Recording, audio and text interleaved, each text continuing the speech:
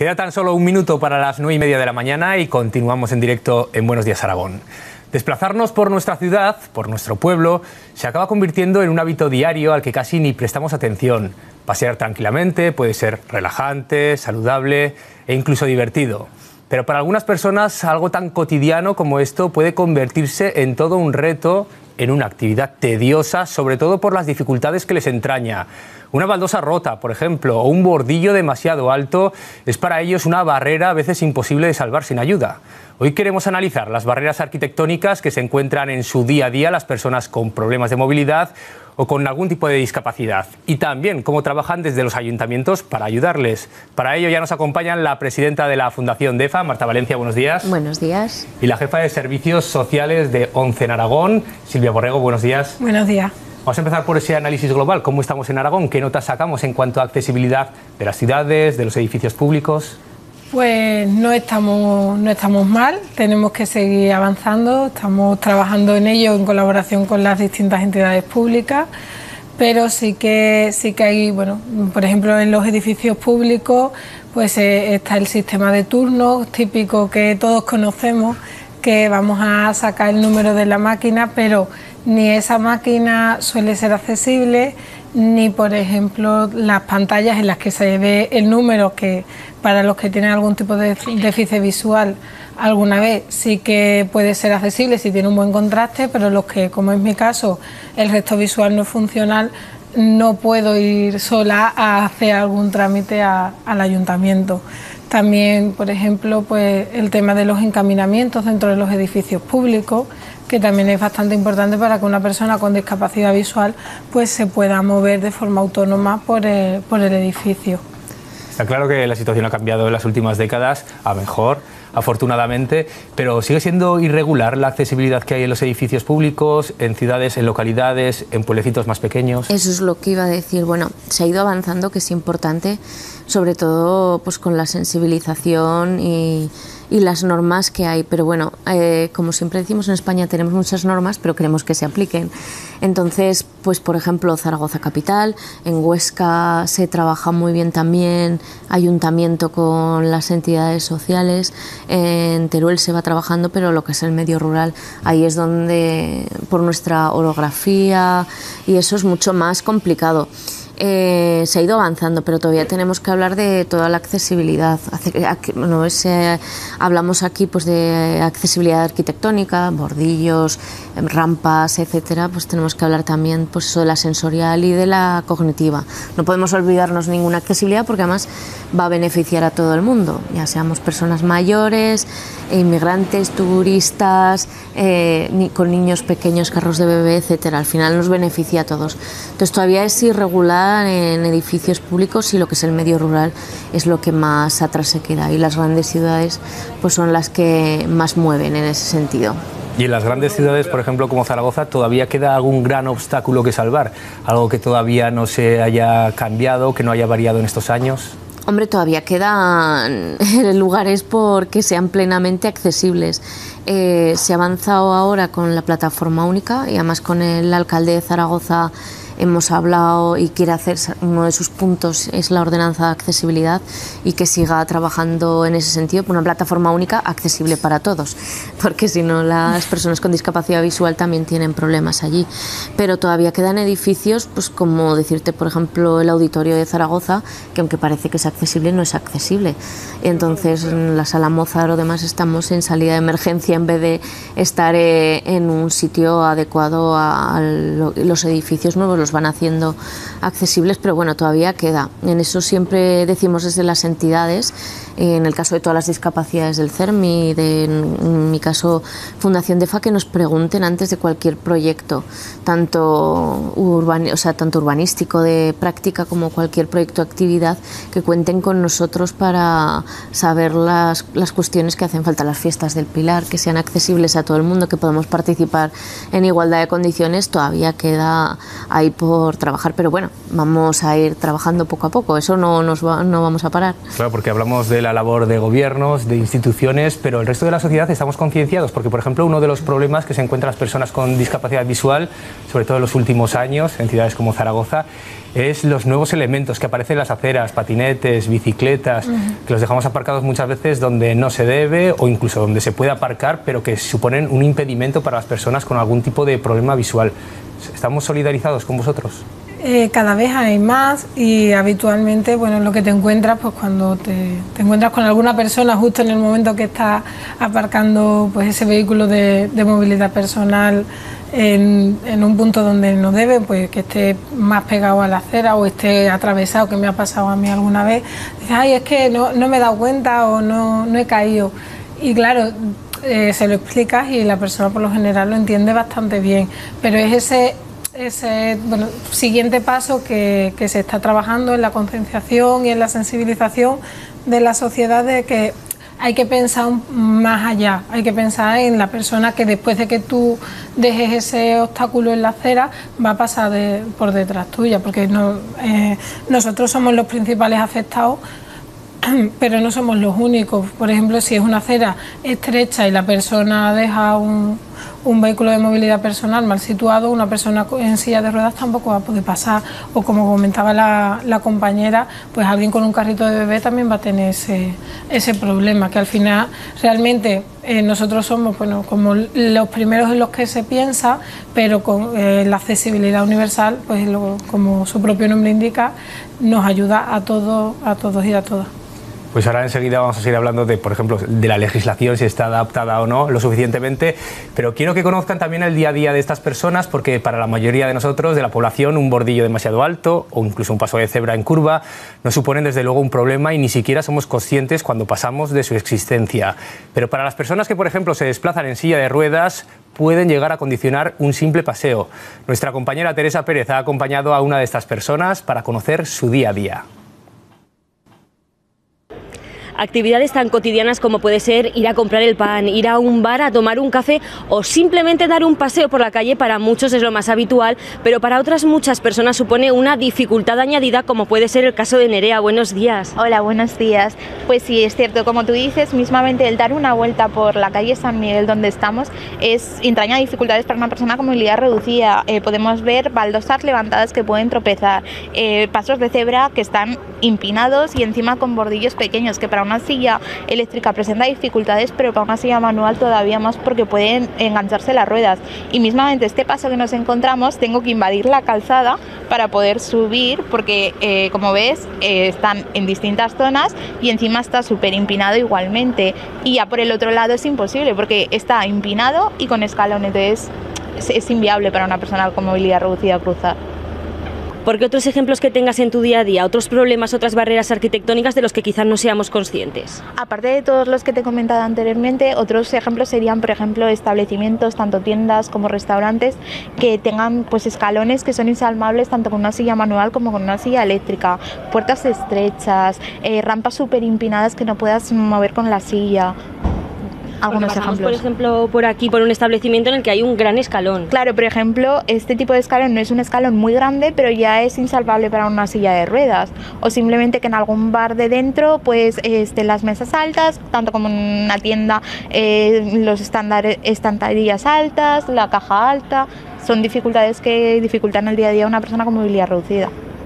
Pues muchísimas gracias Nerea por habernos hecho partícipes un poco de tu día a día y también por enseñarnos ¿no? que nosotros muchas veces no nos damos cuenta, pero que las barreras arquitectónicas nos rodean y que tenemos que aprender también a rebajar, por ejemplo, esos escalones y también los escalones que hay a las tiendas para que todos podamos tener acceso ilimitado a toda la ciudad.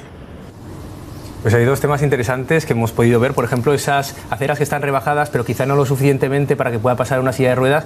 La ley está actualizada y los técnicos son conscientes de los problemas que generan muchas veces, incluso cuando quieren adaptar esas aceras.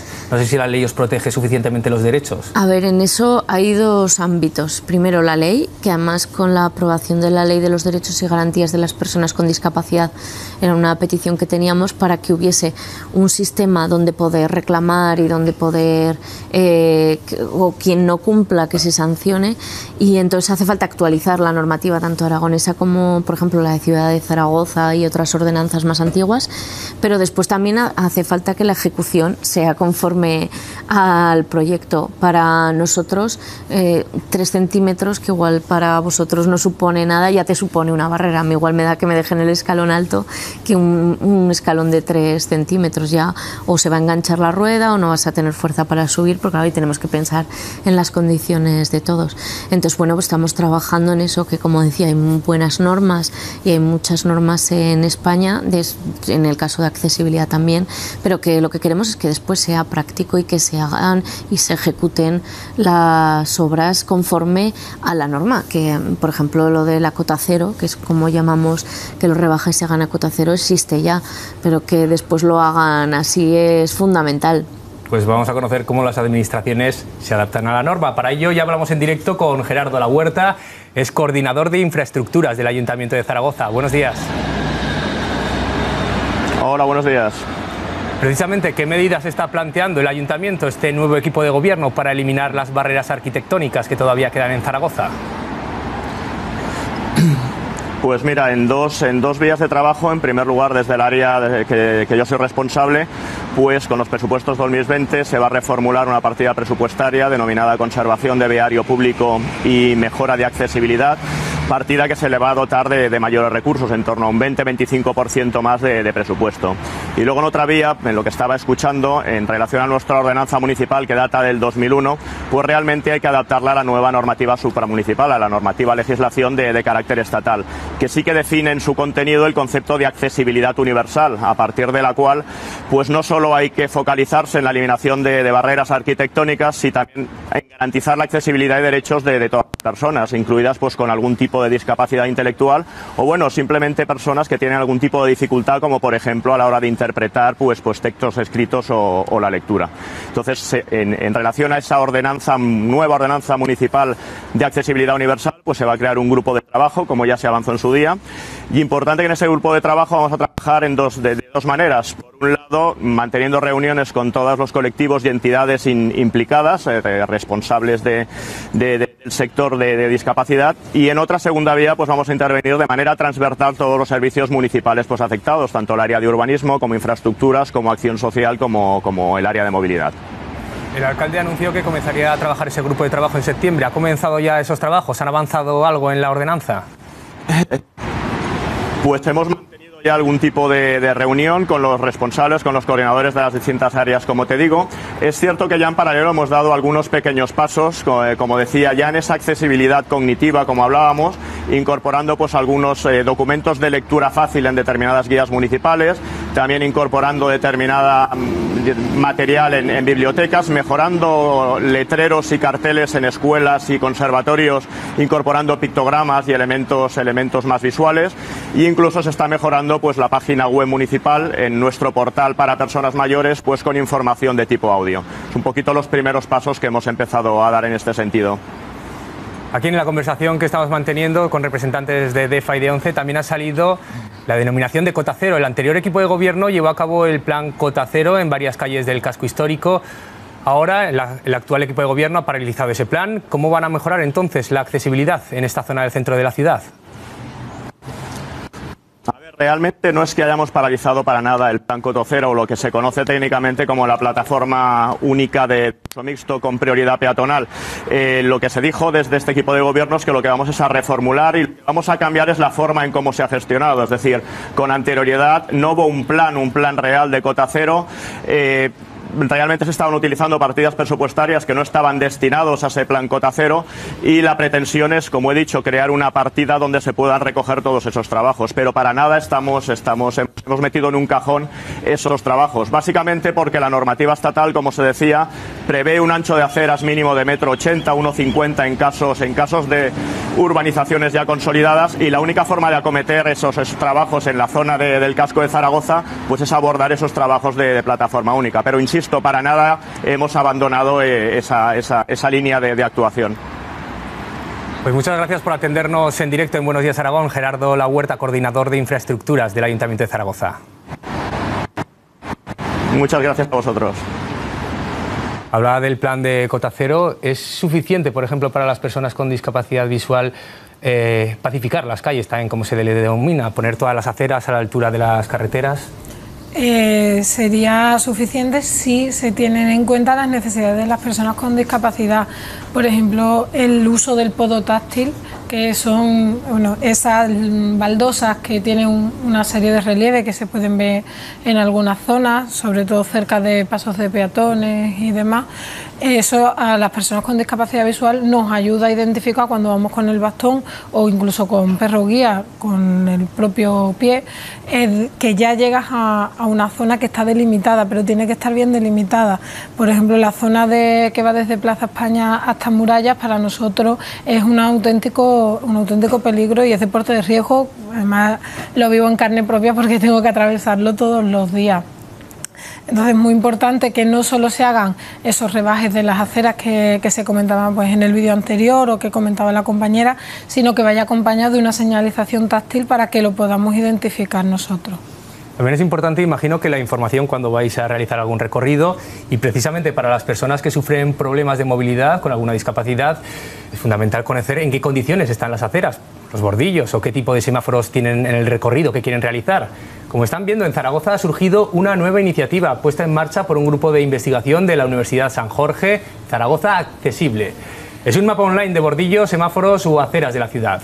A través de la colaboración ciudadana quieren señalar sobre el plano todos los elementos a tener en cuenta. Aquí vemos, por ejemplo, los semáforos adaptados que tiene este recorrido concreto porque muchas veces imagino cuando vais a salir de casa que no tenéis la información suficiente, sobre todo si vais a realizar un recorrido nuevo, no sabéis si necesitáis ayuda o no. Exactamente, ahí te, hay que aprovechar de las nuevas tecnologías, Street View y demás para ir viendo. Normalmente ya tienes los itinerarios en tu cabeza de lo que quieres hacer, pero cuando es nuevo no lo sabes. Si hay plazas de aparcamiento, si no, cómo eh, va a ser el edificio el que vas a ir a visitar, porque es lo que hablábamos en edificios tanto de ocio, cultura, tiempo libre, que también tenemos derecho a ello. Ahí es donde más deberían moverse en accesibilidad y además si se defiende un comercio de cercanía también. Entonces mm, te tienes que planificar, no es decir, venga, que me voy y ya llegaré, sino que tienes que planificarte un poco cómo y por dónde quieres ir. a veces tienes que dar más vueltas porque te encuentras obstáculos en el camino, gente que no ha respetado los rebajes o demás, venga, vamos a dar la vuelta por el otro lado, o baldosas si están en malas condiciones, entonces pues es una aventura cuando vas a la ciudad, pero yo por ejemplo eh, de Zaragoza puedo decir que salimos a la calle mucha gente con discapacidad, que eso hace unos años no se veía, con lo cual quiere decir que vamos por el buen camino, que hay que trabajar en eso conjuntamente todas las partes para seguir avanzando. Pues hemos hablado de Zaragoza, pero vamos también a las otras dos grandes ciudades de Aragón. En la capital ostense, desde 2012, el ayuntamiento asigna cada año 100.000 euros para la eliminación de barreras en la vía pública o en infraestructuras municipales. También se trabaja en la accesibilidad a través del proyecto Huesca Más Inclusiva. Sin embargo, hay puntos pendientes de actuar, como el que ha visitado nuestro compañero Miguel Ángel Mur.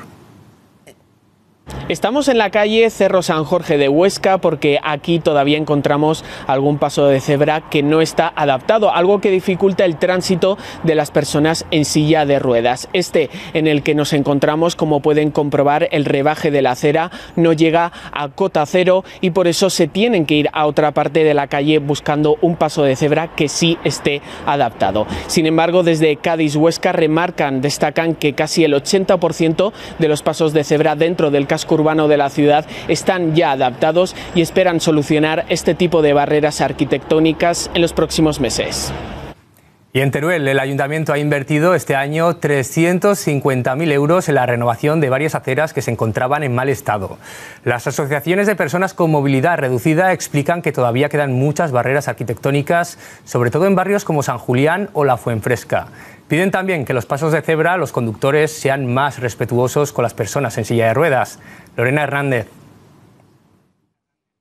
Desde la Asociación de Discapacitados Nuevo Día explican que en Teruel falta trabajo por hacer para que sea realmente una ciudad accesible. Entre las principales quejas está la falta de rebajes para poder subir a las aceras, la estrechez de algunas de ellas, como esta que bordean el Parque de los Fueros, y el mal estado de algunas de las baldosas que pueden provocar accidentes si la silla de ruedas no lleva un sistema antivuelcos. También señalan desde la asociación que en lugares públicos como la oficina de Hacienda o en la policía local, la plataforma de acceso para evitar las escaleras es demasiado pequeña y muchas de las sillas no pueden subir. Estamos repasando lo que hacen las administraciones, los gobiernos municipales, pero también hay suficientes ayudas a nivel estatal, a nivel autonómico, por ejemplo, para adaptar la vivienda o para esos locales comerciales de los que hablábamos, restaurantes que tienen que adaptar también para que sean accesibles. ¿Hay ayudas suficientes para que se pueda realizar? Eh, bueno, a nivel estatal hay una serie de ayudas que bueno, supuestamente están garantizadas legalmente pero ya sabemos, pues el tema de presupuestos y con este, con la situación política actual que tenemos, pues no siempre llegan tan rápido como, como gustaría. Ah, porque una persona, por ejemplo, con una discapacidad que se quiera ir a vivir sola lo tiene complicado si no tiene un dinero acumulado para poder llevar a cabo las obras de adaptación de su vivienda. Sí, porque además, bueno, en cuestión de ayudas no son suficientes en ningún sentido, porque, por ejemplo, en comercios o, o lugares de ocio pequeños y demás no hay ningún tipo de ayuda. Entonces, ahí cuentan que con la remodelación y se pide que se modifiquen, ¿no? Pero, por ejemplo, lo que dices a la hora de vivienda, las únicas viviendas que aquí en Aragón se exigen que sean accesibles son las viviendas de protección oficial, que es la reserva de cuota para personas con discapacidad. Y aún así, bueno, así, así de accesibilidad. Entonces, en obra nueva ya sí que se va exigiendo con lo cual también es un hándicap para que las personas con discapacidad nos tengamos que ir a vivir a lugares donde no están consolidados, no hay tantos servicios que necesitamos y que es más complicado. Por eso la, ayuntamientos como el de Zaragoza, el de Huesca, la DGA también ha sacado ayudas de rehabilitación de vivienda que son fundamentales.